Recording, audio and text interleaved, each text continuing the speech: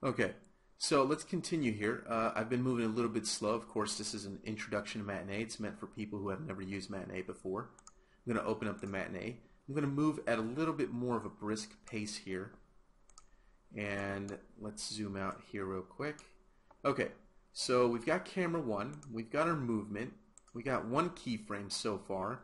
So if we jump back in here, uh, I, if you remember, what I wanted to do was I wanted to get this camera to sort of uh, not really move, but kind of rotate in position and basically look up. That's going to require rotation, not actual movement. So let's go ahead and let's let's do that. So um, one way that we can do that is pretty simple. I'm going to take matinee here and I'm going to move to say a new position. So right now this is zero seconds so five seconds might be a little bit too slow.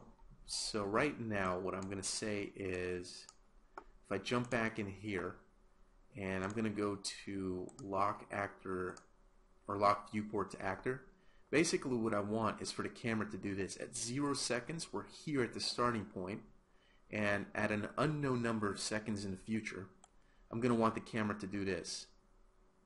Right to about here and I'm going to hit G to go to game mode so I can really see that. So I'm going to want the camera to do something like this, which I think will be pretty cool. We can see the cool effects up there, um, this cool bright hot spot from the uh, opening in the cave ceiling. I think that'll be pretty cool. And we'll keep this uh, statue and stuff in the lower right of our of our shot. Okay, so this is where I'd probably like it to be. All right. So I've actually, by doing this, I've actually change the rotation. If we look over here in the details panel, pay attention to the rotation parameter in the Y, which is the pitch. It's changing as I do this. So basically I'm changing the pitch of the camera. So I'm going to pitch it to about right here. And that looks pretty good. So let's jump back to Matinee. Because we moved the camera, we can actually set a keyframe right here. So if we go up to this button over here that says Add Key, we can click that and we'll set a keyframe right here. So let's jump back here. And right now we can't really see much because we're either matinee or we're back in the scene. Let's go back to the first frame. What I'm going to do is I'm going to unlock my viewport camera. Okay, so at the first frame we're here. At the last frame, the camera moved. Uh, in order to see this a little bit better though, what we're going to do is I'm going to tear off my matinee and I could actually dock it at another part of the viewport uh, or the UI but I'm not really going to do that. I don't have a lot of uh, real estate here for my screen just because I'm trying to record this video so I'm going to kind of move stuff around so that I could see a little bit better and there's my preview down here. So you could see that at the beginning of the animation, if you look at the preview, we're down here. If I start to slowly move the timeline by just left clicking and dragging here, you can just click anywhere down here in the timeline, just click and drag, you'll see that my camera starts to pitch and look up, which is pretty cool. So it's doing exactly what I wanted it to do. So right now, it's taken it two seconds to do that movement. So if I want to see what it actually looks like, I can actually just hit the play button over here and then I'll click on stop. And this is going to play audio while you do that, by the way. Um, so that's why you heard that. So pretty cool. Uh, it moved a little bit too fast. I just felt like it moved a little bit too quick for me. Uh, so I didn't like that.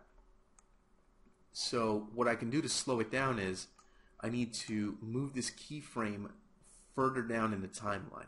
So two seconds is too fast. So if we make this animation maybe four seconds, it's going to be uh, twice as slow. It's going to take it twice as long. So to do that's actually really easy.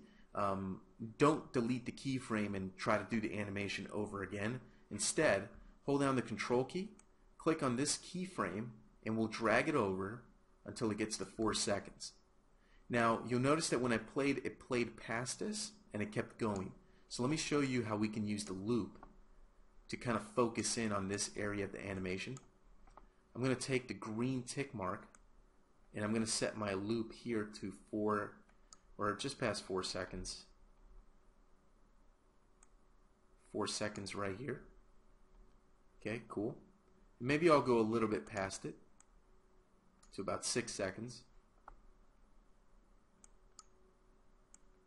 It's going to be kind of tough to do this because I have very limited screen uh, real estate on my screen here because I'm trying to record this at a smaller dimension of what my monitor actually supports which is going to kind of stink a little bit but just bear with me.